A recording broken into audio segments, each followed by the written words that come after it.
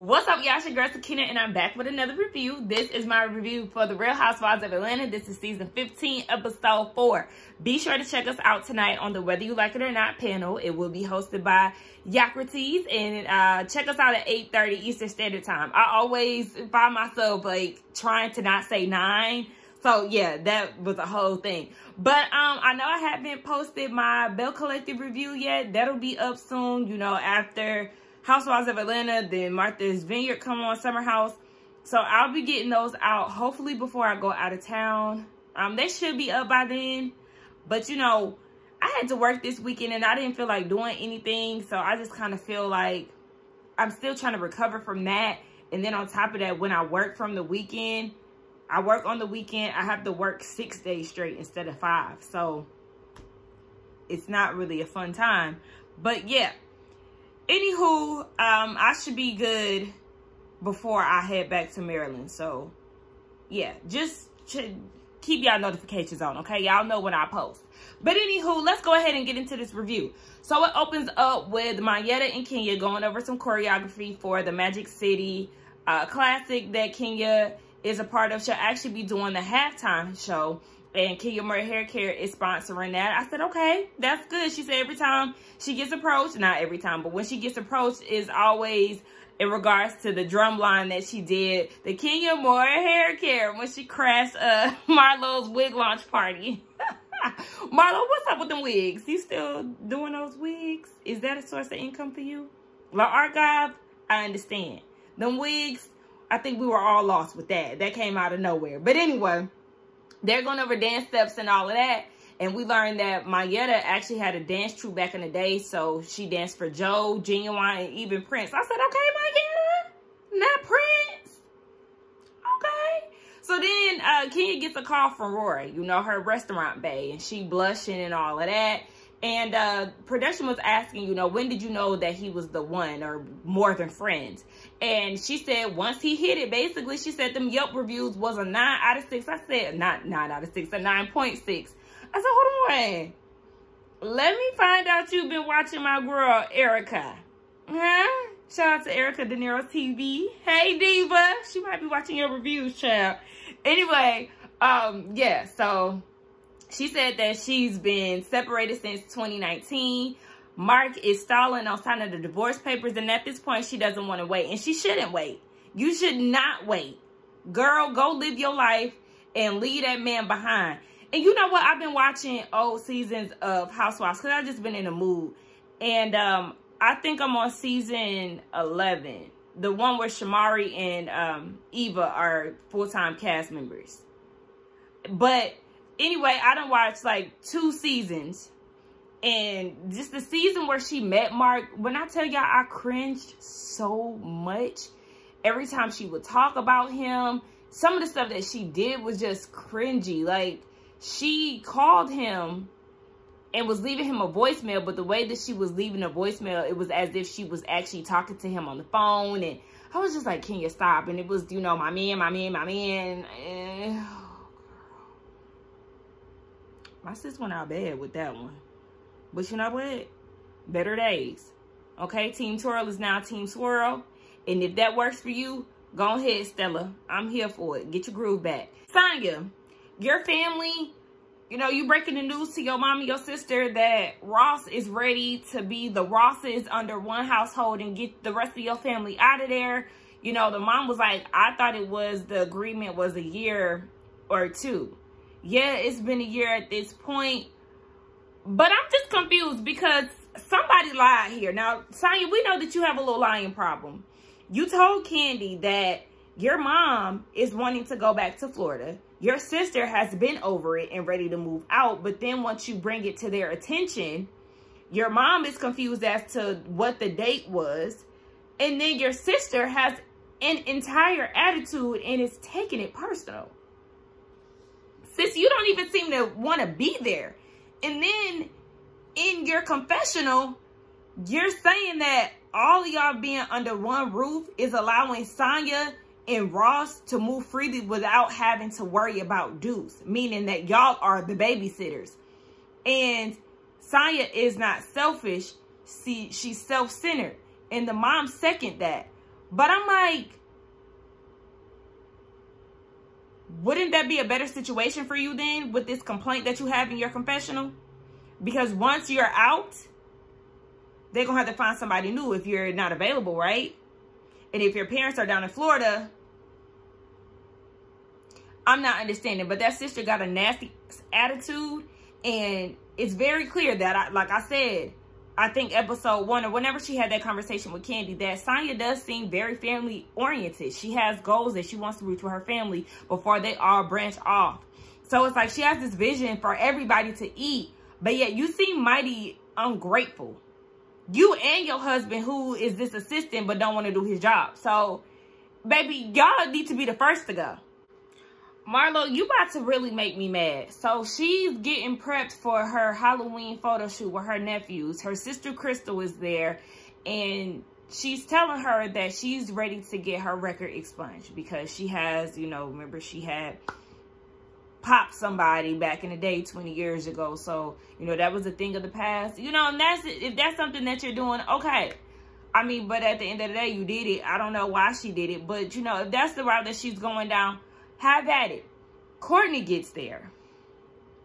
Courtney gets there and she's talking, Marlo is talking about Kandi and saying how Kandi seems to always want to help people and all of that, but she never helped Marlo try to get her record expunged.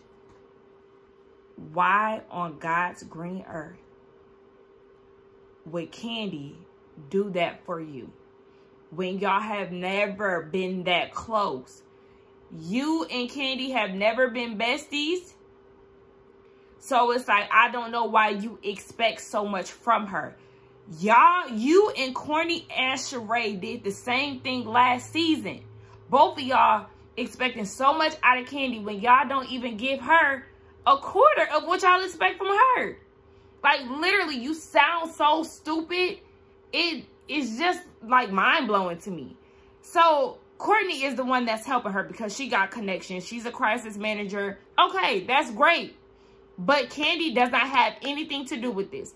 And here we are again, bringing up her deceased nephew, who used to work at Old Lady Gang.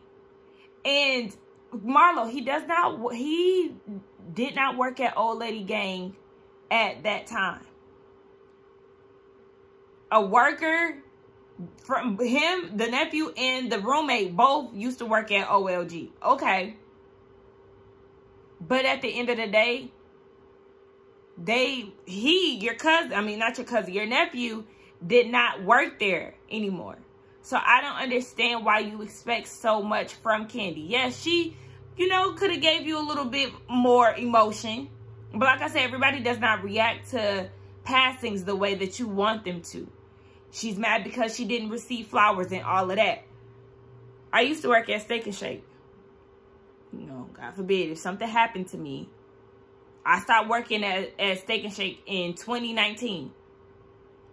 And I had been working there for years, since 2012. That was my second job.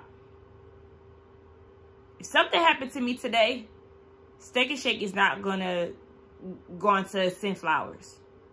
If something happened to me today, Nike. They're not going to send me flowers. Send my family flowers. Now, my Nike coworkers that I'm still friends with, yes. But management and all of that, no. Because none of us work there anymore. So it's like, what are you talking about? I need you to release this and let this go. And figure out what what is the... Like, there has to be some jealousy or something. I'm really trying to make sense of why she always has a problem with Kenya and Kandi. Girl, figure that out and seek help. Because your life coach ain't working. You need intensive therapy. And then I also want to know how long Marlo knew Courtney. Or are you just looking for a common ally because neither one of y'all like Kandi at this point? Don't get me wrong. I know that that situation at OLG probably did trigger Marlo. Totally understand that because it's, you know, a shooting you you lost your nephew because of that and then he used to work at olg so i totally understand her being triggered but the way that she's going about it it just it's it's uncalled for And then it's the fact that she is feeling some type of way because people are bringing up what she did 20 years ago. But you also like to, you know, hit below the belt as well. Remember what you said about Kenya and anybody else. You're, you know how to provoke people and get people to a certain point. So don't act like you're just innocent. People have to fight fire with fire when it comes to you a lot of times. Don't forget your past on this show and your relationships with the women.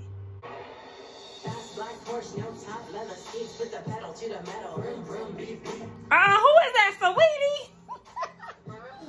Put that pedal to the metal, vroom, vroom, beat, beat. What is that like?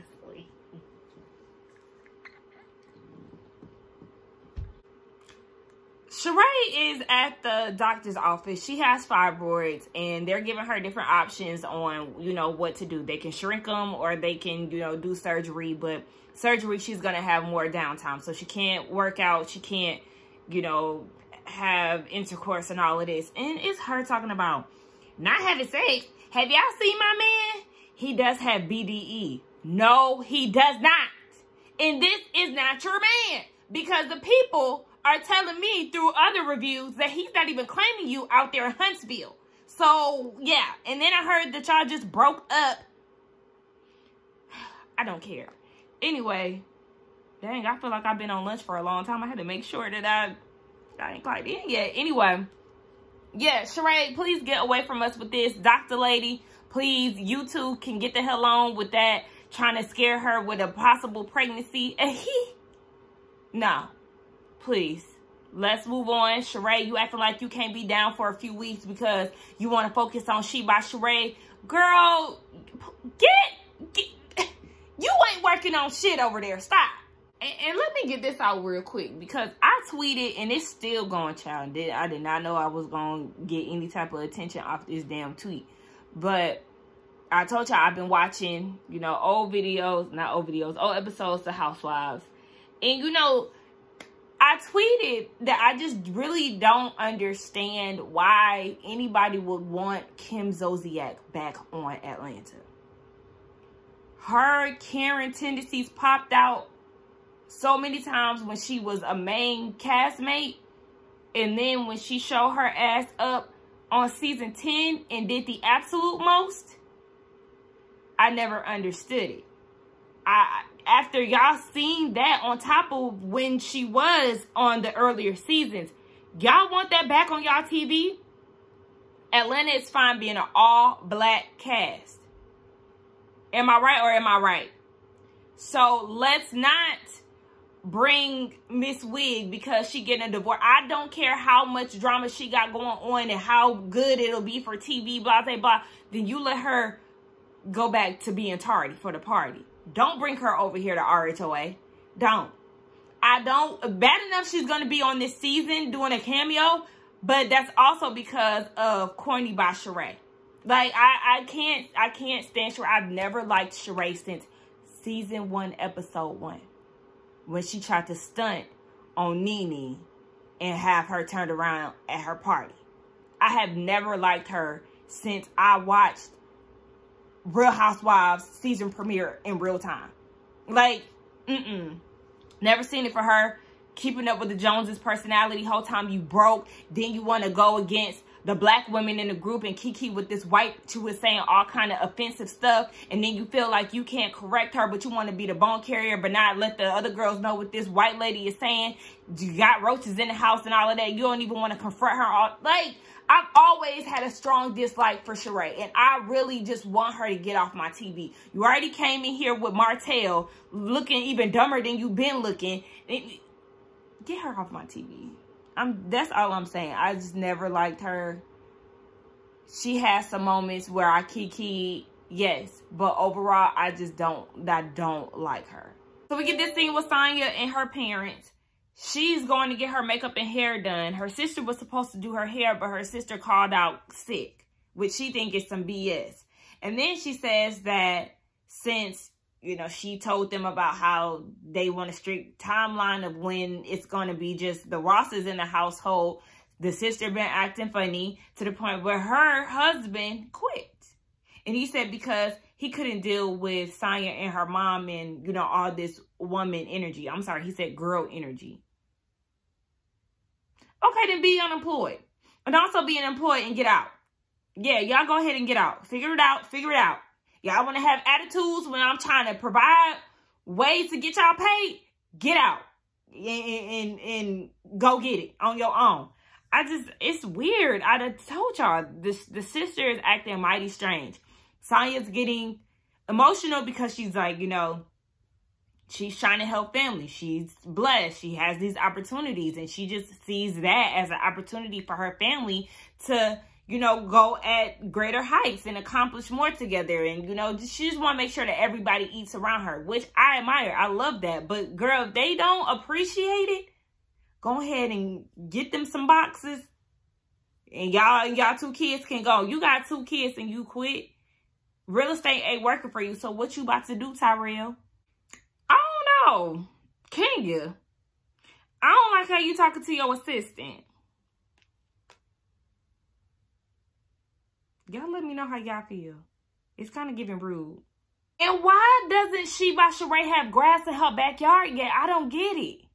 They, do y'all notice that even when I'm watching the old seasons and they do like the, what is it, aerial shot, aerial shot of the house, it's still surrounded by dirt and grass, okay?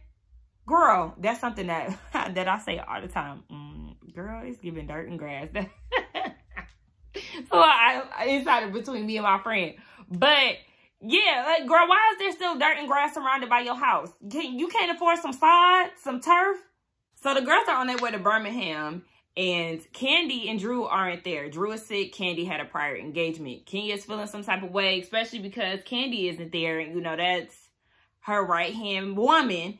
And um, she got to get on the bus with Marlo and Courtney, people that she really don't even like. And Courtney don't even know, like, if her and Ralph's second, third, fourth cousins, like, she don't know none of that. And did y'all notice when Courtney is introduced on the show, like, under the screen or at the bottom of the screen, they have Sheree's friend slash Ralph's cousin. He is not a peach holder. Keep that part out of it. Anyway, they're on the way there. They're talking about all the things that they have prepared on the trip. I noticed that Kenya coughed when they was at Sheree house still. But she's still coughing on the way there. Marlo hacking. Sanya in, in the middle of it all. And... It, it just made me uncomfortable. Like, girl, maybe you should have canceled too because your ass is sick, obviously, Kenya. So then they start talking about eating ass and uh they was talking about they never did it, but Kenya did it before. And look, I look at it like this.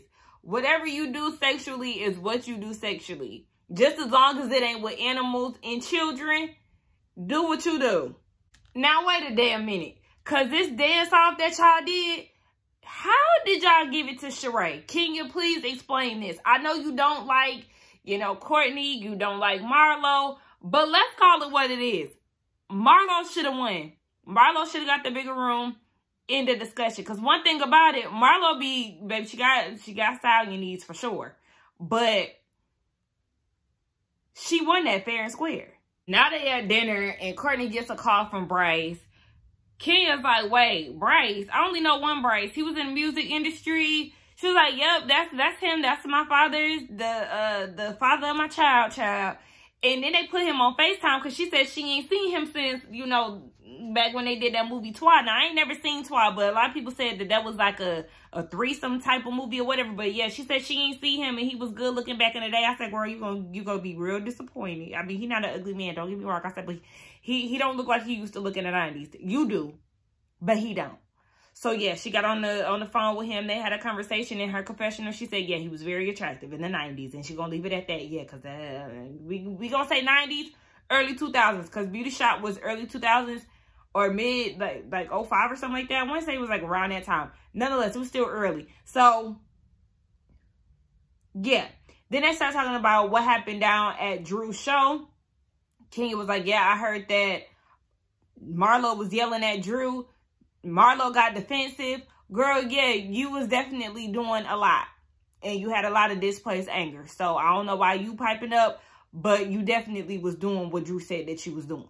Marlo complaining about this room, Sheree too, but more so Marlo I want to focus on is just so, so old. So old. She does this damn near every season. Now, yeah, when y'all went to Blue Ridge, girl, you did what you needed to do. But then we also kind of side-eyeing it because it's the same house that they was at the following season on Married to Medicine. So it's like, maybe it's a coincidence. I don't know. Or maybe Bravo got a deal. We don't know. Anyway, girl, this is just a running thing with you. You did that when y'all went to um Miami to go surprise um Nene.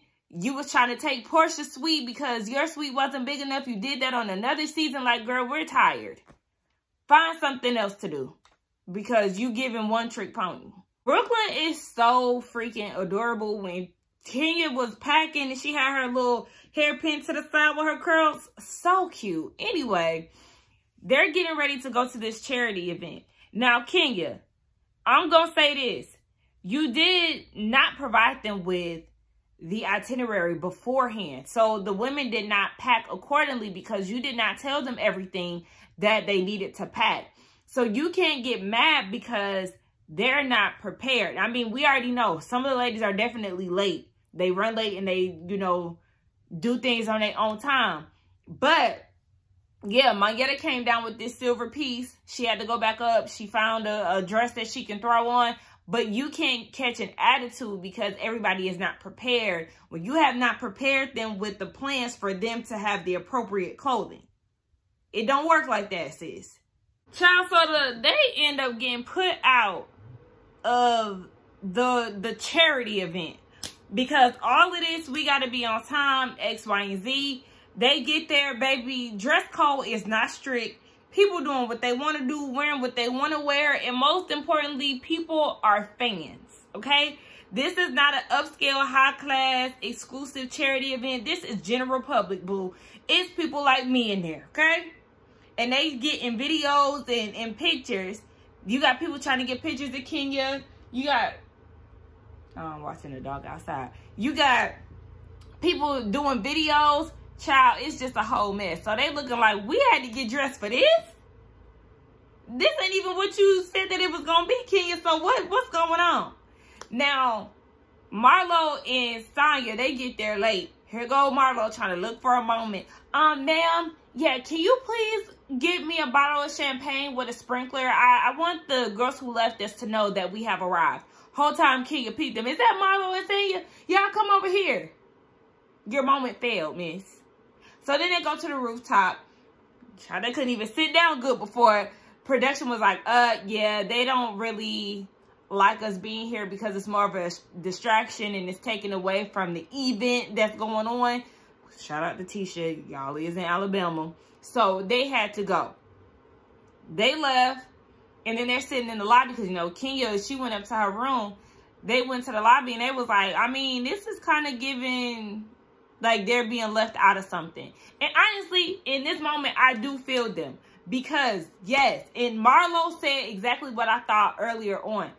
Kenya, since you're not the grace, the most gracious host, you're not. You can have a very rude attitude. Yes, South Carolina was a disaster. Your attitude was very nasty, and I didn't like that. And then she said that she did it in Blue Ridge. Blue Ridge, that was Marlo's trip, and it was just like, girl, whatever. I don't fool with you. So, yeah, you're not the best host, and you didn't have an itinerary, a rundown of what they will be doing. And then, you know, you leave them early. And I understand that you have your daughter with you. Totally understandable.